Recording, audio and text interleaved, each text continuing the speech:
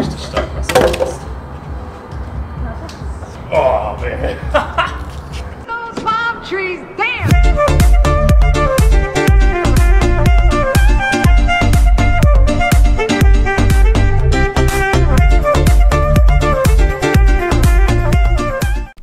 So, da sind wir. Gestrandet und nun. Danke, vielen Dank. Jetzt, da sind wir bereit. Ähm, ja, hey, cool. Also wir sind wieder am Start und äh, boah, die Kamera ist echt schwer zum Blocken. Das ist nämlich unsere Hauptkamera, die ich auch so für andere Videos nutze. Und letzte Woche kam ja ein ziemlich ja, größeres Video online, wo wir euch eigentlich einfach mal so komplett zusammengefasst hatten, was wir in den letzten Blogs oder in den letzten Podcasts immer mal wieder irgendwie angerissen haben. Und wir wissen ja, dass nicht jeder von euch ständig reinschaltet. Und das ist ja auch völlig in Ordnung. Deswegen wissen wir, dass solche zusammenfassenden Videos eigentlich immer ganz gut sind, um euch einfach nochmal zu erklären, was eigentlich unsere Pläne sind und was so die Richtung ist, die wir einschlagen. Und was wir erstmal grundsätzlich sagen müssen, ein riesengroßes Dankeschön für euer ultra ultra, ultra krasses Feedback. Also es war so schön zu lesen und es war so schön, ähm, ja, vor allen Dingen auch das Feedback zu unseren Plänen zu bekommen und wie viele das sehr inspirierend finden. Das ist absolut nicht selbstverständlich für uns, sowas zu lesen. Das ist äh, jedes Mal aufs Neue so, boah, krass. Und wir kennen auch diese Down-Phasen, wo wir selbst so ein bisschen denken, boah, irgendwie geht es bei uns nicht voran oder irgendwie ist es nicht so, wie wir uns das vorstellen. Das ist völlig normal. Und das versuchen wir jetzt auch über die nächsten Wochen hinweg euch zu zeigen. Deswegen wollen wir euch unsere Pläne auch so früh wie möglich mitteilen, damit ihr eben den ganzen Prozess miterlebt. Weil wir werden 100 Pro in dieser Idee, die wir haben, vom, von unserer Base zu wechseln, auszuwandern, das Haus hier zu vermieten, äh, mit dem Defender zu reisen, also die Welt zu sehen, da werden wir bestimmt viele Rückschläge erleben, weil es klappt einfach nicht immer alles so, wie man sich es vorstellt. Und die andere Sache, wofür ich mich auch oder wir uns vor allen Dingen sehr bedanken wollten, ist einfach die Rückmeldung zu der Art von dem Video. Und da steckt wirklich viel, viel Arbeit drin und dementsprechend war das auch so schön zu sehen, dass viele von euch uns auch einfach Rückmeldung zu der Machart des Videos gegeben haben.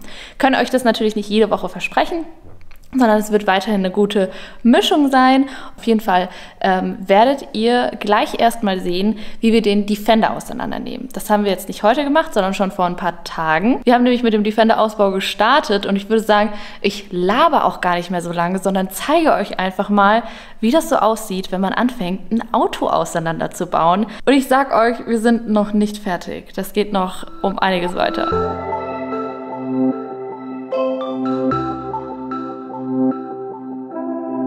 Ein Teil des Defenders wird also momentan demontiert. Es geht deutlich einfacher, als wir dachten. Die Schrauben sind zum Glück alle sehr, sehr gut zu lösen. Gleich kommt Diamond, wir sind ja eben gerade in der Firma von seinen Eltern. Also wir haben hier immer so ein paar Gäste, die mal vorbeischauen. Was ganz cool ist und es macht wirklich mega Spaß, an solchen Projekten zu arbeiten. War besser als gedacht, oder? Viel besser als gedacht. Und das Ja. Wichtigste, der erste Eindruck, also auch hinter, also die Vergleiche haben wir noch nicht abgenommen, aber das, was so dahinter ist, sieht echt okay aus. Dass man nicht allzu viel neu kaufen muss, sondern vielleicht auch nur einen Rost behandeln kann. Das ist gut. Weiter geht's. Wichtigste ist übrigens die Dokumentation. Wenn man so ein ganzes Auto auseinander nimmt, dann ähm, kann es mal sein, dass man mal die Schrauben nicht immer findet. Das wäre natürlich schlecht. Die Erfahrung haben wir ja nicht schon bei Tofelino gemacht. Äh, nee, das haben wir nicht gemacht. Restaurieren ist was ganz anderes. Ja, deswegen. Also wirklich, restaurieren von einem Auto, das ist was ganz anderes als der Van-Ausbau. Wo kann ich das denn hin?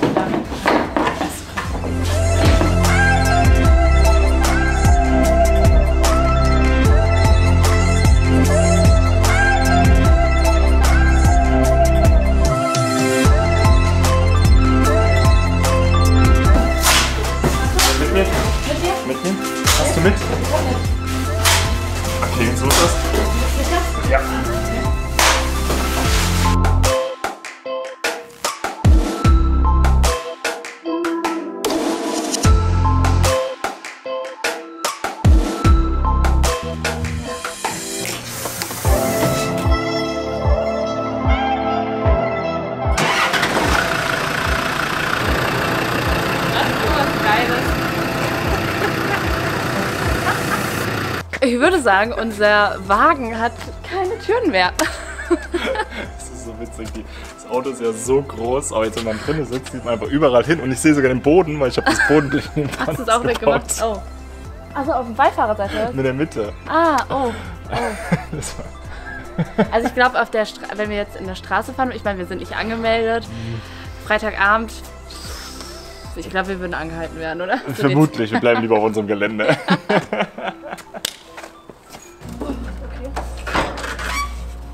Abstellen bei dir. Ach klar. Okay, wie machen wir es jetzt? Okay. Ich muss runter, ich muss runter. Ja? Okay, du bist runter. Lass mal so und ich gehe jetzt langsam runter Bizeps-Training. Richtig stark, was du machst. Oh, Baby.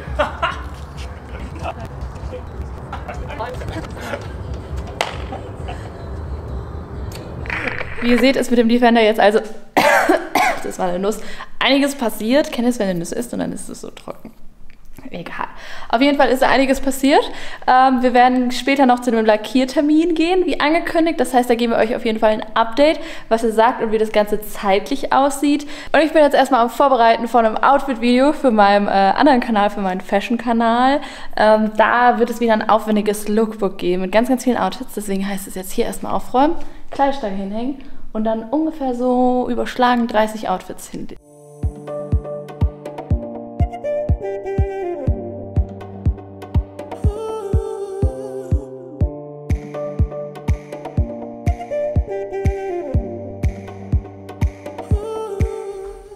Es hängen schon ziemlich viele Teile hier, aber ich muss sagen, dadurch, dass ich das jetzt so ein bisschen länger nicht gemacht habe, man kommt so aus der Übung.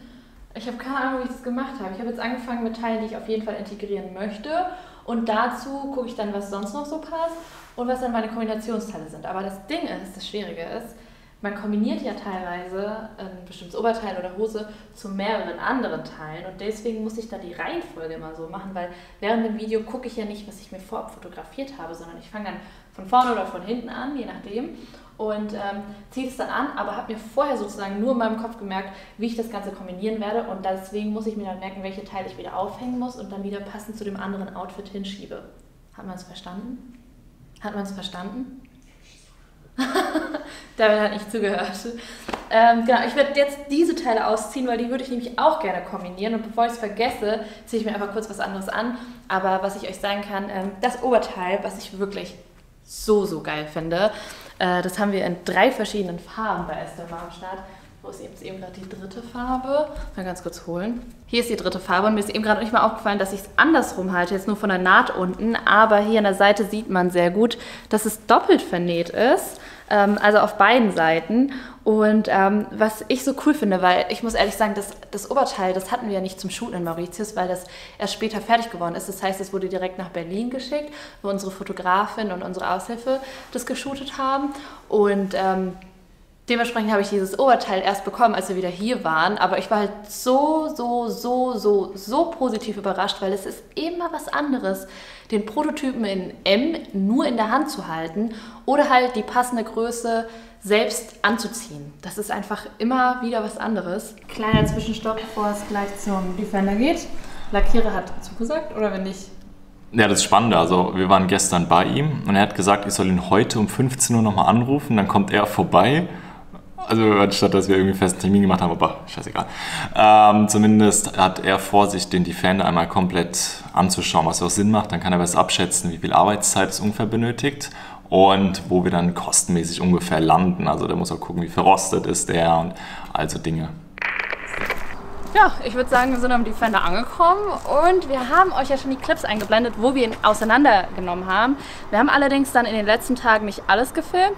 Da war Damian nämlich noch ziemlich fleißig. Deswegen würde ich sagen, fangen wir ganz kurz hier am Auto selbst an, bevor wir gleich zu den kleinen Teilen gehen. Also wir haben beim Defender jetzt mittlerweile ähm, ja, die größten Teile weggemacht, wie Türen, Dach, Motorhaube, ähm, hier hinten dann schon so einzelne Komponenten, ne, könnte man es jetzt sagen, ähm, damit sich das dann der Lackierer anschauen kann, beziehungsweise was viel wichtiger ist, damit wir einen Überblick kriegen, was für Teile wir bestellen müssen. Wir haben nämlich auch das Problem mit Lieferzeiten und Pipapo. Zum Glück haben wir zeitlich nicht so einen Stress. Ähm, das Gute ist, es sieht schon mal viel, viel besser aus, als wir dachten. Aber ich weiß auch nicht, wie oft ihr schon mal ein Auto in so einem Zustand gesehen habt. Es tut ein bisschen in der Seele weh, äh, weil man sich so denkt, wow, man hat jetzt einfach so einen ganzen Batzen Geld auseinandergenommen, ne? Ja. Schon heftig. Aber wiederum weiß man, man macht es ja, damit dann was Besseres ähm, passiert. Und ich muss ehrlich sagen, ich habe so ein krasses Vertrauen in Damian auch. Kein No Pressure, ne? So ein krasses Vertrauen, dass er das auch wieder zusammenkriegt. Also bei uns ist es so, wir gehen mal ganz kurz in die Garage schon mal rein, weil da wollte ich euch auch noch kurz was zeigen. Bei uns ist immer einer der Kopf von den verschiedenen Aufgaben. Das ist vielleicht eigentlich ganz spannend zu wissen, weil wenn ihr uns so aktiver verfolgt, dann wisst ihr, dass wir sehr viele verschiedene Bereiche haben. Wir haben ja das Fair Fashion Label, wir haben ähm, natürlich auch die kreative Seite, die Fotografie, den Videoschnitt, dann haben wir natürlich auch diese handwerkliche Seite oder zum Beispiel auch beim Hausbau oder sowas. Wir haben immer gesagt, bei den verschiedenen Themen ist einer von uns beiden der Kopf. Und das tun wir ganz am Anfang von dem Projekt festlegen. Das heißt, jetzt beim Defender, sage ich jetzt mal, wenn es um den puren Ausbau geht, um diesen Bereich, da ist Damian der Kopf.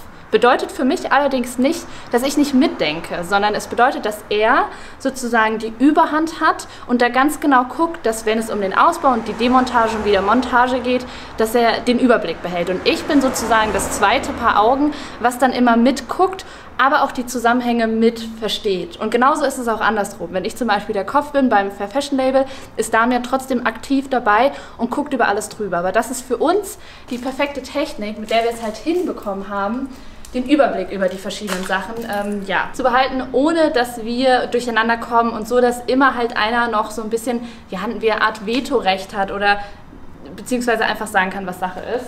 Ähm, damit wird auf jeden Fall hier schon mal verschiedene Teile verteilt. Hier sehen wir schon mal so ein bisschen Sitze. Hier ist so äh, Heck, Fenster, Seitenteil. Da ist ja nur die Hälfte des Setup. Ein bisschen Dachhimmel. Was hier eigentlich ganz interessant ist, weil viele sagen, wie baut es wieder zusammen? Ha, haben wir natürlich was überlegt. Und zwar haben wir hier eine Kombination aus verschiedenen großen Tüten, wo wir draufschreiben, was es ist. Wichtig, da Damian der Kopf ist an der Sache, schreibe ich nie einfach so Bezeichnungen drauf. Wenn ich die Tüten mache oder irgendwas demontiere, dann frage ich Damian, wie er das gerne draufgeschrieben hätte, damit er weiß, was damit gemeint ist. Das ist ganz, ganz wichtig. Ganz wichtig auch noch Kreppband, damit wir auch einzelne Teile einfach bekleben können, beschriften können und irgendwie noch äh, Kabelbinder, um gewisse Dinge einfach zusammenzubinden. Und das tun wir dann zusammen lagern. Gehen wir mal rüber. Hier, wow, sind die eng dran, sind die, unsere ganzen Türen, die Motorhaube. Also wir haben hier unsere Hecktür, wir haben hier unsere anderen Türen, die hat er sich auch alle angeguckt, ne? Also, Genau. aber der war begeistert, dass wir schon demontiert haben. es war tatsächlich gar nicht so leicht, alles zu platzieren. Also unser Dach liegt auch noch irgendwo hoffentlich safe. Da darf nämlich nichts drauf fallen, auch wenn der Lackierer nochmal dran geht. Aber wäre ganz nett, wenn es hält. Und da haben wir Ersatzteile.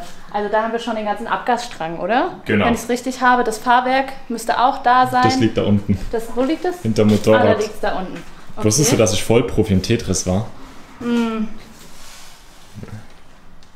Ja, mit den einfachsten Teilen kann jeder Tetris spielen. Also das zählt nicht, Damian, das Argument. Nö. Auf jeder guten Baustelle sind übrigens auch immer so ein paar Snacks verteilt, ne? Vielleicht auch so ein bisschen Bier. War der gut? Ja, ja, ja, ja. Äh, doch, der war gut. Also ihr habt gesehen, wir haben einiges am Defender auseinandergenommen und ähm, es wird auch noch so weitergehen. Das Ding ist ja, man kennt es, man malt so ein Quadrat aus. Grob ausgemalt ist schnell, fein ausgemalt dauert am längsten. Was Sophia damit Ja. meint, die Schrauben, die raus wollten, sind draußen. Die, die festgerostet sind, äh, sind so drin. Und es ist unglaublich viel Zeit, das dann braucht. Aber so ist es nun mal. Das war uns bewusst, dass das Ganze schon zeitlich eine ordentliche Nummer wird. Vor allen Dingen ist es auch ganz wichtig zu sagen, weil wir werden ja auch ganz oft gefragt, ja, mit welchen Kosten rechnet ihr? Wie lange dauert der Ausbau? Wir sind zum Glück in dieser Position, wo wir das entspannt angehen können. Manche haben dann doch irgendwie ein zeitliches Limit, wo sie wissen, okay, die wollen nicht noch einen Monat länger für eine Garage oder für eine Halle oder sowas zahlen. Aber wir wissen bei so einem Projekt und wenn man so ein ähnliches Projekt auch schon mal gemacht hat, da kommen immer Überraschungen. Wir sind jetzt positiv überrascht vom Zustand des Wagens, weil wir viel, viel weniger Rost und viel weniger Schäden haben, als wir dachten. Aber ähm, gerade wie Damian sagt, die ganzen verrosteten Schrauben, wir brauchen jetzt neues Werkzeug. Ne? Und Genau, wir brauchen- werden noch mal ein bisschen aufrüsten, weil Ja. wir äh, doch noch mal was so Bohrmaschine, Flex, Schleifen, Lack ab. Ja, brauchen wir noch mal ein bisschen was. Und vor allen Dingen auch noch Teile vom Defender. Das wusstest du ja vorher auch nicht, was wir wirklich neu kaufen Ich schätze, müssen. wie viele Teile habe ich insgesamt in den letzten zwei Tagen bestellt? So ganz grob. Ganz grob. ungefähr 400. Das hat er mir auch nicht heute Morgen erzählt. Ach, scheiße, stimmt. Das hat er vergessen. Die 400 Teile und das ist wirklich nicht alles. Also Ja. ich habe gerade einfach nur geguckt, immer Dichtung. Also wenn ich das abmontiere, bestelle ich gleich die Teile, die ich, wo ich weiß, dass ich sie neu brauche. Wichtig ist, dass wir die Ordnung beibehalten, damit später bei der Montage auch alles sitzt, wo es sitzen soll und nichts klappert oder knarzt oder abfällt. Also ich persönlich hatte ja noch nie ein komplizierteres Lego-Ding, aber ich stelle mir das vor halt wie so ein Lego, so was komplizierter ist, wo man eigentlich sehr gerne nach Anleitung baut. Nur, dass wir die Anleitung dann später halt eigentlich nicht wirklich haben. Genau. Deswegen, ach, das wird schon, ich meine, ist ja auch normal, dass man sein Auto mal zerlegt. Also ich habe sowas vorher noch nicht gemacht, Damian auch nicht, aber ich meine, das ist die perfekte Einladung, dass zwei äh, motivierte Voll... Profis, Profis. das schaffen. Aber gar keine Sorge, ich kenne mich mit Waschmaschinen aus. Es ist doch es ist einfach nur eine große Waschmaschine. ist das Gleiche. Scheiße, genau das Gleiche. Guten Morgen, vom Defender ab zum nächsten Tag. Heute, es ist eigentlich auch schon wieder mittags. Heute gab es so ein bisschen ähm, Stress. Wir haben nämlich hier, also ich habe das Video hier gedreht, da hat währenddessen noch andere Dinge erledigt. Und jetzt geht es nämlich los in die Schweiz. Wir haben, sind jetzt schon viel später mal wieder, als wir eigentlich los wollten. Wir wollten echt noch den Abend schon genießen, aber wenigstens, wenn wir noch zum Abendessen da sind, vielleicht haben wir auch noch die Chance, in den See zu springen, was ziemlich cool wäre. Wir haben unsere Badesachen auf jeden Fall mit dabei. Wir haben jetzt gepackt und zwar so, dass wir dann am nächsten Tag, also morgen, dann auch los können Richtung Zermatt mit den Zügen, ohne dass wir zu viel Gepäck mit am Start haben. Äh, wir haben auf alle Fälle ein paar Rucksäcke. Und zwar hat jeder von uns einen mit am Start. Wir haben hier einmal unseren Kamerarucksack. Da ist unten eigentlich eher Technik. Die Notebooks haben wir auf beide Rucksäcke verteilt. Zum Wandern nehmen wir dann immer nur einen Rucksack, und zwar den Kamerarucksack. Meine Wanderschuhe sind dabei. Damals Wanderschuhe sind schon gleich im Auto.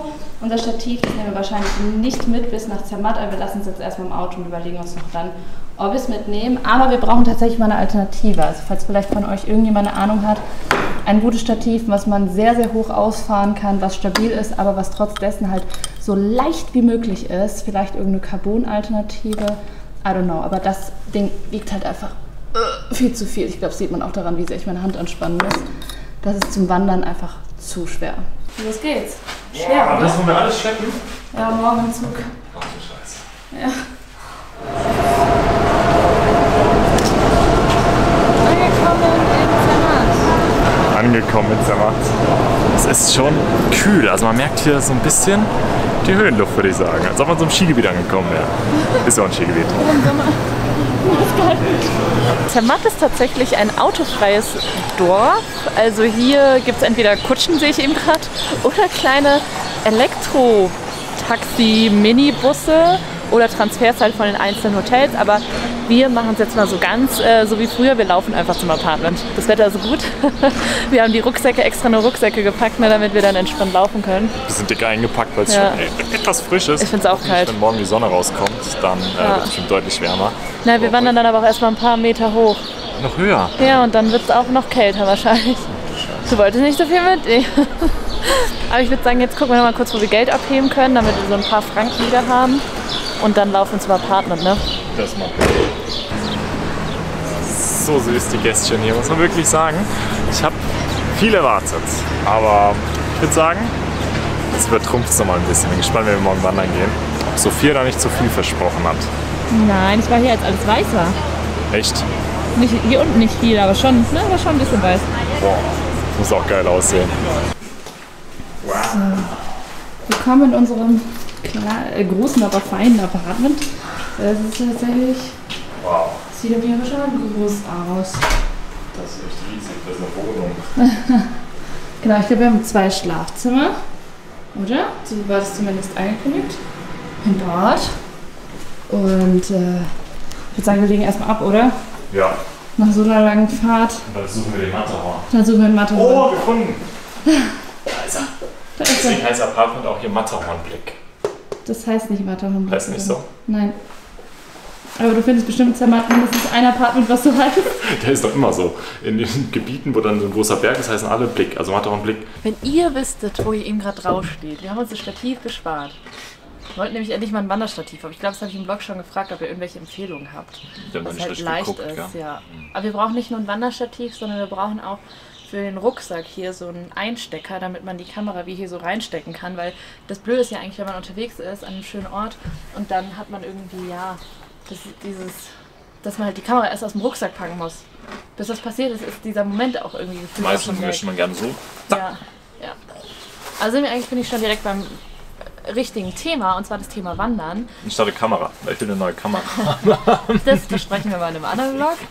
Aber äh, das, Thema, das Thema Wandern, ähm, finde ich, ist so eine Sache, weil wir wurden da nicht rangeführt an das Wandern, sondern jetzt erst in den letzten Jahren. Aber wir als- sind nicht damit aufgewachsen. Ja, als Kind fand ich, also das Thema Wandern, wie spießig ist das denn und wie lahm und Wandern, das ist sowas für die alten Leute mit so einem Hütchen auf dem Kopf, eine Feder hinter dem Ohr und dann laufen die mit ihrem Stock rum und gehen Bier saufen auf die Hütte. ja.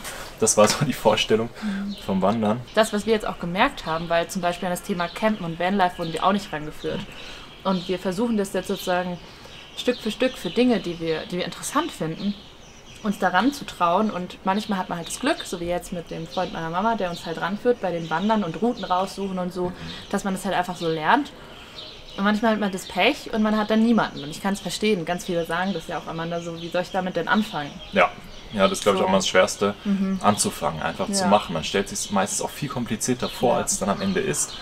Und äh, man hat aber auch riesen Erwartungen von Mhm. dem Wandern, also dass man direkt gleich an einem Wasserfall ist und da fliegen die Vögel durch den Wasserfall. Oder, also das ist ja auch dann ist ja. Ja. auch nicht immer so. Ab und zu sind Wanderrouten auch scheiße, ab und zu sind die anstrengend, ab und Mhm. zu ist es vernebelt, dann ist man angekommen, da hatten wir auch schon alles. ist eigentlich so wie mit dem Vanlifen halt auch. Also mit allem eigentlich, was vor allen Dingen auf Social Media sehr so romantisiert vorgestellt wird irgendwie. Aber eigentlich wollen wir euch nur damit sagen, wenn ihr Lust habt, sowas zu machen und so wie wir halt eben auch nicht damit groß geworden seid, ist es nie zu spät, damit anzufangen. Also wir tasten jetzt ran, tun Stück für Stück unsere Ausrüstung verbessern, ja, oder? Und Ja. dann Stück für Stück, dass es halt immer besser ist und dann traut man sich auch immer mehr und so wird es dann halt auch mit dem Offroad-Fahren sein und sowas. Wir haben auch niemanden, der uns rangeführt hat an dieses Offroad-Fahren. Einfach mal machen, ne? Ja. So unser klassischer Spruch, also gestrandet und nun einfach mal machen. Das wäre die Fortsetzung. Ich sag euch, in fünf Jahren haben wir so einen Endlossatz. Oh, der Matterhorn lässt sich so langsam blicken. Wow. Wir Aussicht auf den Matterhorn. Aber ich glaube, die nächste Wolke kommt wieder. Aber wenn nicht, sehen wir den spätestens morgen. Jetzt machen wir uns erstmal gleich mal ready. Video schneiden. Ja. Danach Mama und Nico abholen. ja. Dann gehen wir ein Bierchen wahrscheinlich trinken, habe ich oder so. gehört. Meine Mama ist bestimmt dabei. So ein, so ein Bierchen in der Sonne. Hm, Wird schwierig. Jetzt mehr Motivation bitte. Motivation, wir motivieren uns gegenseitig. Und damit guten Morgen.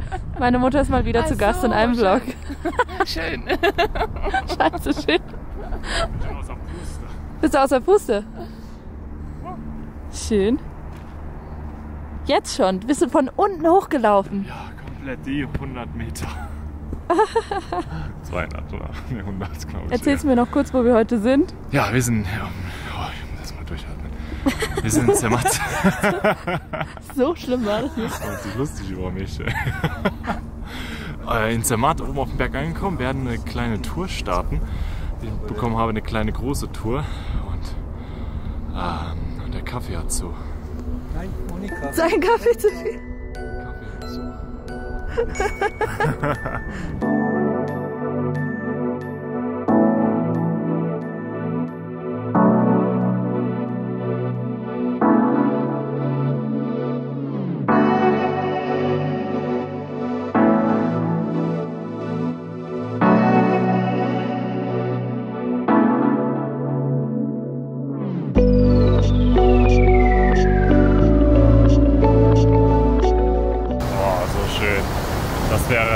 der Traumstellplatz für uns mit dem Defender.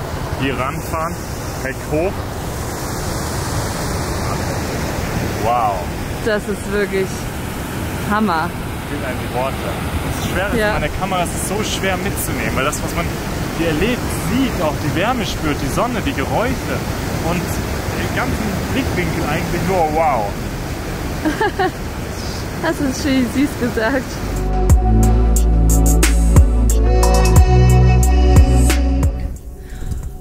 Eine schöne Wanderung hinter uns. Äh, beziehungsweise, nee, wir haben eigentlich noch ein bisschen was vor uns. Ne? Wir sind in Smoot jetzt. Z-M-U-T-T. Damit freut sich auf seinen Kaffee oder so. Und ich brauche neue Wanderschuhe. Ne, Ich brauche neue Wanderschuhe. Eigentlich haben wir alle gesagt, Sophia, Ja. äh, lauf deine Wanderschuhe mindestens zwei Wochen ein oder keine Ahnung was. Sophia hat die mal fünf Stunden getragen. Ich habe eigentlich meine ich Wanderschuhe schon länger getragen. Ja. Und ich glaube, ich habe alles voll geblasen. Ja, dann würde ich sagen, lauf weiter. Okay, kurz aufs Handy umgeswitcht, weil es hier einfach zu schön ist. Ich wollte euch eigentlich noch kurz äh, die Aussicht zeigen Also da laufen eben gerade meine Mama und ihr Freund runter. Äh, Das ist Smooth, also das kleine Dörfchen ist echt ganz süß. Und hier, schaut euch das an. Also da oben ist der Matterhorn. Und wir sind jetzt hier alles eben gerade runtergelaufen. Und mit dem Wind und boah, also Empfehlung, würde ich sagen, ne? Ich sehe schon aus wie ein richtiger Wanderer. Das Outfit nicht wirklich, oder? Guten Morgen. Guten Morgen. Es ist Sonntag. Wir sind ganz schön schlapp. Wir also sind man ganz merkt es ein schön schlapp. bisschen. Ich merke die Waden Ich und meine alles. Blasen wahrscheinlich. Wenn ich, wenn ich wieder in den Schuhen bin, Ja. wird es ein Grauen, weil ich habe Blasen von den Schuhen. Absolut. Wir werden heute wahrscheinlich auch eine wunderschöne Route machen. Wir haben uns allerdings dazu mal entschlossen, heute die Kamera hier zu lassen und das einfach so komplett offline zu machen. Urlaubstag. Genau. Und ähm, wir sehen uns auf jeden Fall beim nächsten Vlog wieder. Da geht es nämlich dann auch wieder ordentlich weiter mit dem Defender. Und ähm, ansonsten würde ich sagen, verlinken wir euch dann den letzten Vlog, oder? Und hier unten? Da könnt ihr uns abonnieren. Und da gibt es noch eine Glocke. Genau, da gibt es noch eine Glocke. Die könnt ihr auch direkt anmachen, falls ihr Lust habt. Wir sehen uns beim nächsten Video und bis bald. Tschüss.